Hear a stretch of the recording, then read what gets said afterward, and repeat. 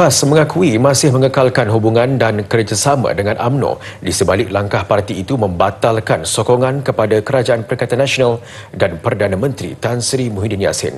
Timbalan Presiden PAS Datuk Seri Tuan Ibrahim Tuan Man berkata, keputusan PAS itu adalah demi perpaduan ummah dalam jangka masa panjang serta kerjasama kedua-dua parti dalam muafakat nasional.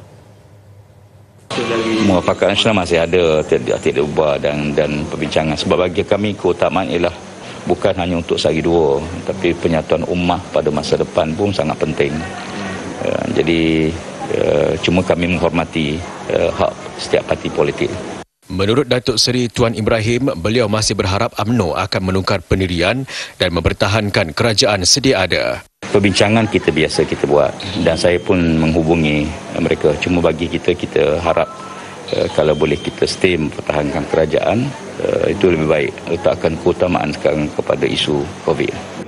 Beliau ditemui selepas melawat program outreach vaksinasi Parlimen Kubang Krian di Sekolah Antarabangsa Wadi Sofia, Kota Baru.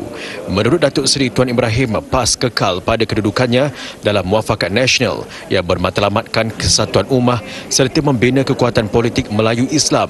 Katanya ini secara tidak langsung dapat memberi jaminan kepada kestabilan politik, keharmonian kaum dan kesejahteraan negara.